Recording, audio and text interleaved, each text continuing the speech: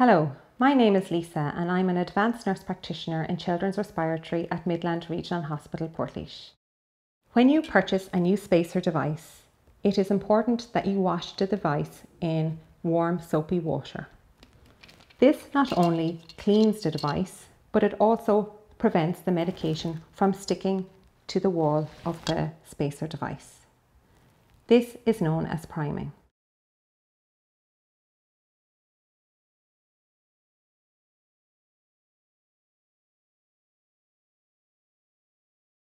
The next step is to shake the blue inhaler to mix the medication effectively. Then remove the blue cap from the blue inhaler and attach it to the end of the spacer. Place the mouthpiece in the child's mouth between their lips and teeth. Ask them to close their lips firmly around the mouthpiece and to breathe comfortably.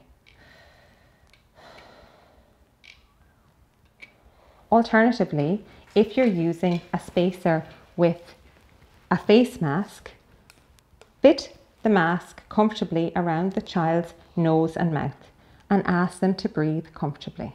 Then press the blue inhaler.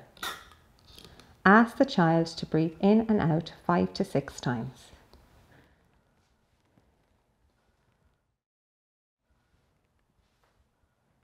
If your child needs a second dose of the blue inhaler, Please repeat this process. Your child can use the spacer device for both their controller inhaler, this is also known as their steroid inhaler, which may be coloured brown, orange or purple, and their blue inhaler. However, it is important that you rinse out the child's mouth after using their controller inhaler, as it can cause oral thrush, sore mouth or change in voice. Thank you for watching this video on inhaler technique.